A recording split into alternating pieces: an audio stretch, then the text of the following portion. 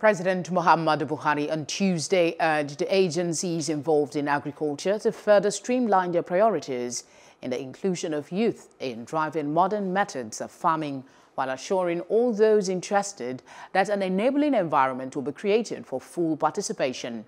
In his remark at the launch of National Young Farmers Scheme, designed by the National Agricultural Land Development Authority, to spur more youth interest in farming, the president said agriculture remains the backbone of the Nigerian economy, being the largest contributor to the nation's gross domestic product, GDP.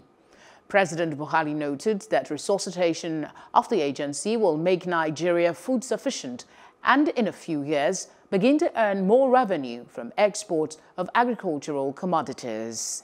Hello, hope you enjoyed the news. Please do subscribe to our YouTube channel and don't forget to hit the notification button so you get notified about fresh news updates.